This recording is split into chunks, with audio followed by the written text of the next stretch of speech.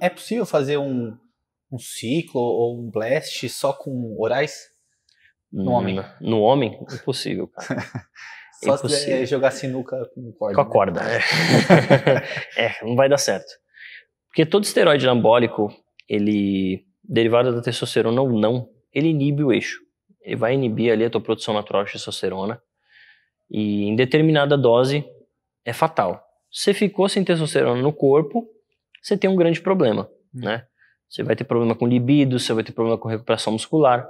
Por quê? O derivado de testosterona, o esteroide anabólico, apesar de grudar no receptor androgênico, ele não é testosterona, né? Então, se por exemplo, vamos lá, é, um exemplo prático, oxandrolona. Tem muito cara que faz isso, mete 20, 40 miligramas de oxandrolona solo. Sim. Aí ele inibiu o eixo. A oxandrolona não produz a função da testosterona, que é segurar a libido, fazer síntese de colesteróis, ou seja, ele vai ficar com a saúde toda bagunçada por um resultado pífio. Uhum. Se quiser usar, tem que ter testosterona. Tem que se furar. Mas, Luiz, tem testosterona oral. É muito hepatotóxica. Acaba não compensando, meia vida muito rápida.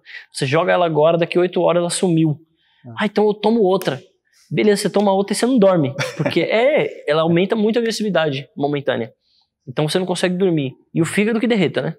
Porque não dá pra segurar, não, cara. É treta. Pois é. Então, meu, vai fazer ciclo, tu que é o homem, Gel vai fazer também, ciclo. adesivo, nesse caso Cara, também não. Não chega num suprafisiológico. Você vai ter que passar o dia todo aqui, ó.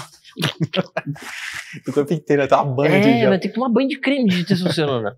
Meu, se você desceu pro play, vai brincar, mano. Vai brincar. Toma aquela furadinha. Normal, pô. Faz parte. É, não- não- todo mundo quer ver Jesus, mas ninguém quer morrer, né? Não dá. Tem coisa que não dá pra fugir.